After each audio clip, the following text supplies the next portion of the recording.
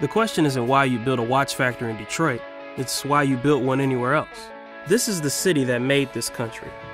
With its steel, with its skill, with its labor. Reestablishing trades that haven't been seen in this country in a generation or more.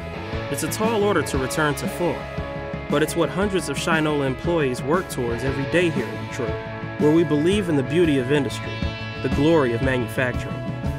Shinola.